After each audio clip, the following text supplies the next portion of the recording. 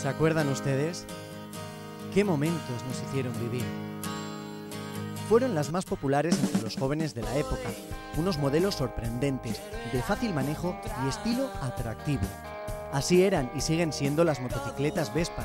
Hijas de la empresa Piaggio, este medio de transporte tiene su pequeño club aquí, en Guipúzcoa, concretamente en Vergara. El Davide Vespa Taldea, así es como se llama este club, formado por siete amigos que tienen una misma pasión. ¿Adivinan cuál es?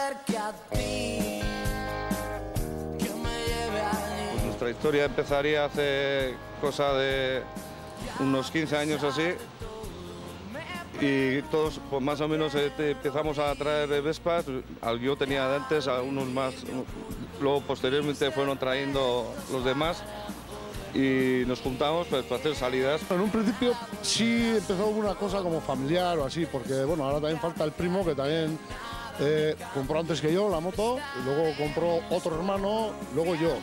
Pero era un poco familiar al principio, luego ya empezaron los amigos, que también les gustaba, y empezaron a adquirir ellos y ya a juntarse en el grupo. Pues fue de repente, a mí, bueno, yo soy motorrero, lo que pasa es que, bueno, pues la dejé para tener familia, pues porque, bueno, pues no tenía un buen seguro responsabilidad civil y dejé la moto, pues al tener la hija y, bueno, un golpe de suerte que una vez llevé el coche al taller para cambiarle la correa de distribución y tal y cual y me comentó, joder, mira, bueno, vi una Vespa y dije, coño, esa Vespa y tal. Bueno, dije, no la vendas, eh, que me la quedo yo. Sus motos son auténticos clásicos, modelos de entre 16 y 26 años que miman con todo cariño. Todas son de cilindrada, de cilindrada son iguales. Lo único, la mía, la mía lo, que, lo que es es la, la más vieja de todas, que tiene 26 años este grupo de amigos se atreve con todo, incluso con el Camino de Santiago, pero claro, de una manera muy especial.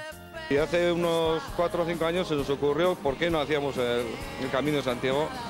Y entonces, pues, en cuatro años hemos ido pensando cómo se podía hacer y poco a poco, y bueno, pues hemos aprovechado en agosto para, para hacer la vuelta. Anécdotas ha habido desde las ayudas que nos han, eh, que nos han podido hacer los municipales, como fue, el caso de Estella, que nos llevaron por todo Estella, por dirección, digamos, entre comillas así, dirección prohibida, pero bueno, nos señalaban donde nos podíamos caer porque el suelo estaba resbaladizo y luego nos eh, dijeron, dejaron las motos pues eso, aparcadas pues, mientras estaban vigiladas por las cámaras de seguridad del Departamento de Municipales de Estella.